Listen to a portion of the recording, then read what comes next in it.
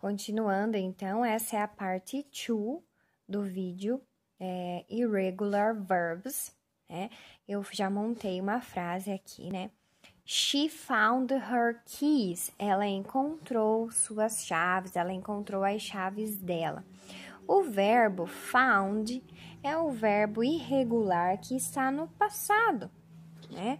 No passado simples. Ela encontrou. She found her keys.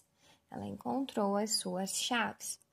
Agora, nós vamos pensar que o exercício está pedindo para nós é, formularmos uma frase interrogativa.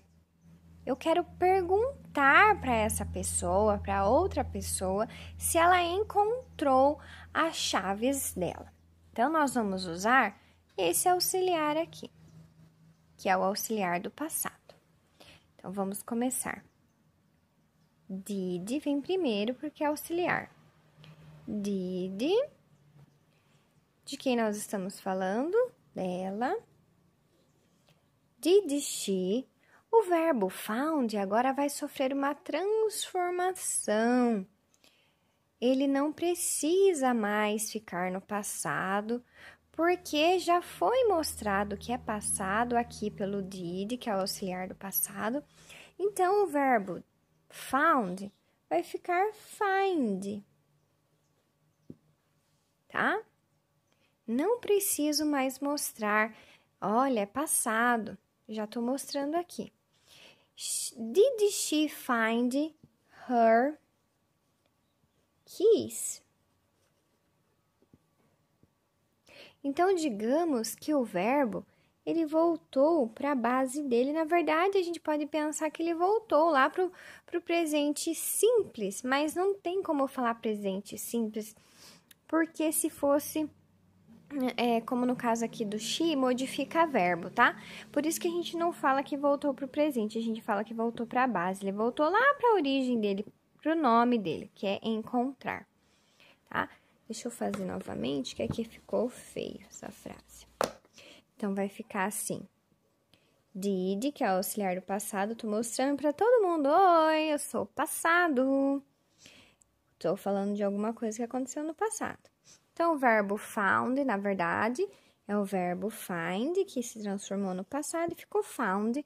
Agora, eu já estou mostrando que é passado, só voltar ele para a base. Find her keys. Esse é o diferencial das frases, tá? Porque quando eu estou mostrando que é passado, eu não preciso mostrar de novo né? Se eu tivesse colocado somente o did aqui na frente, ó, did she found her keys, ficaria repetitivo. Eu já estou usando um auxiliar de passado, por que, que o verbo vai estar no passado também? Então, não pode o did aqui, certo? Agora, vamos pensar em fazer essa mesma frase negando. Para negar, eu vou usar did plus not.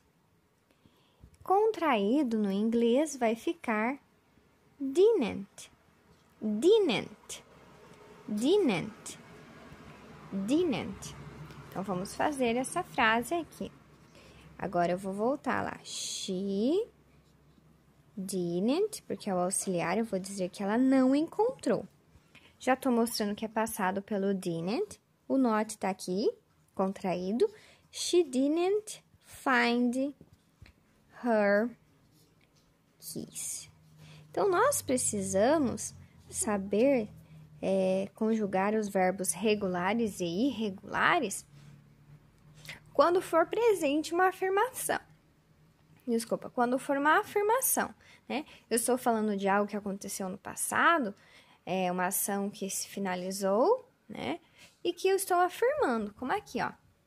Ela encontrou as chaves dela, né? Mas quando eu vou dizer que ela não encontrou, eu estou usando o auxiliar do passado, ela não encontrou. O verbo voltou para a base, ficou find, né, que é o verbo encontrar. Mostrei que é passado pelo did e o não encontrou aqui, ó, o not, tá? Vou fazer mais alguns exemplos para vocês no próximo vídeo.